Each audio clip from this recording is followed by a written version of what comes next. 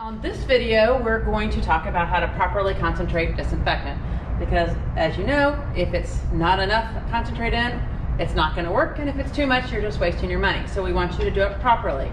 And one of the things that you have to do is practice doing it properly. Get out all the uh, implements you need, the measuring implements, the container you're gonna use. And so I brought along a friend today, and this is Alex. Alex is going to um, demonstrate doing um, a jar and I'm going to demonstrate doing it in a tub format and we're going to talk about in another video why that's important to know which one to use. So when we're getting ready to mix our concentrate obviously you have to have your concentrate and you have to have your container. Um, the, if you were to read the label, which you, if you watched our previous video, you know that the label says it's two ounces of concentrate in 32 ounces of water. I'll do that math for you. 32 ounces of water is four cups. You can see that on this measurement cup, I'm not close enough to see that, but um, it would be four cups of water. So I'm gonna get you going on filling up your jar with four cups of water. I have already put water in the tub, so I'm not even gonna turn this tub over. I have put eight cups of water in my tub because obviously in this tub, if I only put four cups of water, I wouldn't have any um, depth to put anything in it because this tub is so much bigger.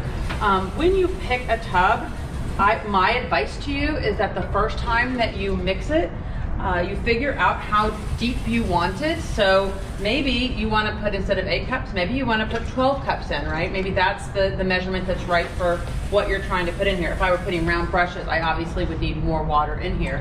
And then make a line and say, take a Sharpie out, make a line and say, this is how high I want to fill this with water. And then you can put your concentrate in. Then you don't have to measure with a measuring cup every single time, right? So since my container's bigger, I have a measuring cup her container smaller, she has a tablespoon, right? So we said it was two ounces into 32 ounces. I'll do that math for you too.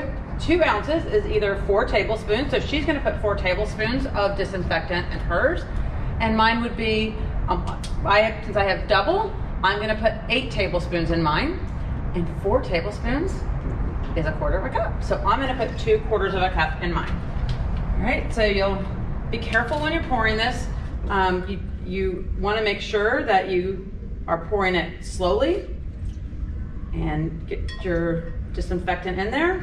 The fun thing with the jar is you can take the little uh, plunger and go up and down and make it all um, nice and mixed.